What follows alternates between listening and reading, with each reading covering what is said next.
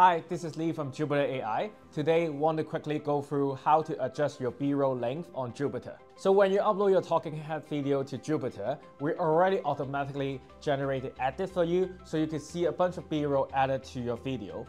And when you play it and then you feel like you want to adjust like a few things, change the B-roll, you could click on the B-roll tab. So on top, you have this B-roll thumbnail. You can see the preview of each B-roll. And once you click to it, you could get access to the gallery really quick to change up a new one.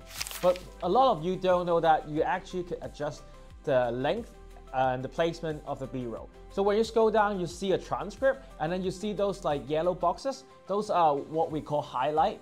Basically work as a work document. You can highlight the text, add new B-roll, or hover on it and then drag it longer, drag it shorter to adjust the length and where it show up we're not like pixel perfect, so like we don't have a really complicated timeline for that for that millisecond thing. But we also realize that a lot of users like us just don't want to hustle with it. So this is the easiest way you could adjust and make your video even better.